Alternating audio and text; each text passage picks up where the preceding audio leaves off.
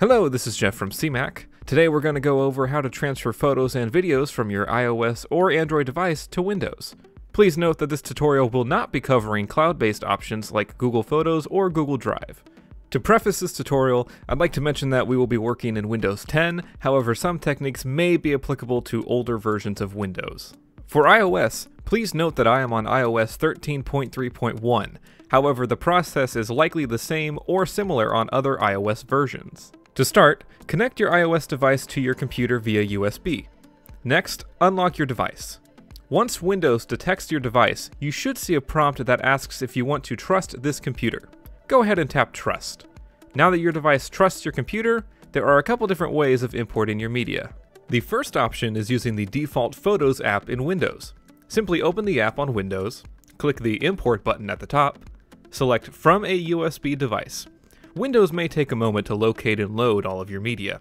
In the meantime, you can change where your media will be imported to by clicking Import Settings and then change the import destination. Once everything is loaded, simply select your desired media and click Import. The second option is using Windows File Explorer to copy and paste your files manually. First, open File Explorer. It's the yellow folder icon on your taskbar. You can also search for it in the Start menu.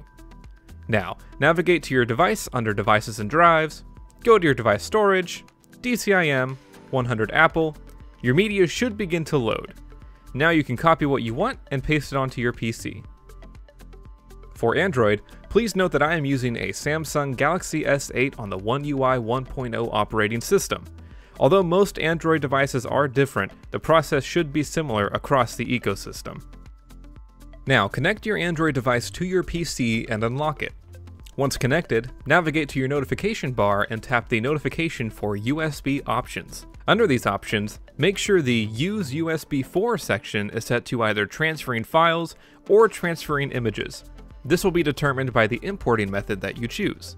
The first method is using the default Photos app in Windows.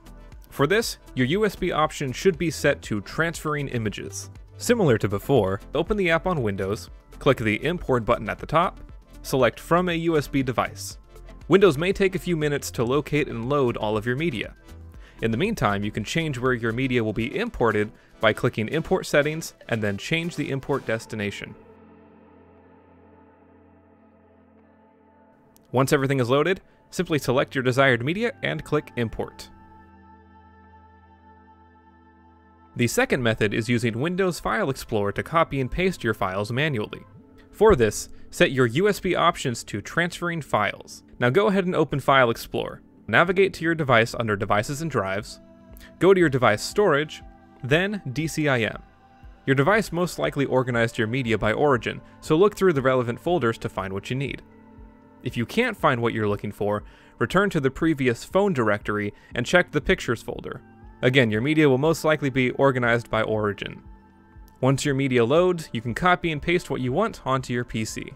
And that's how you can transfer your photos and videos onto your Windows PC. While both processes are fairly similar, the most important thing to remember is your USB settings, making sure that your computer can access the files on your device. If your device isn't peering in either Photos or File Explorer, double check your settings or try the other method. I hope this answered any questions that you may have had.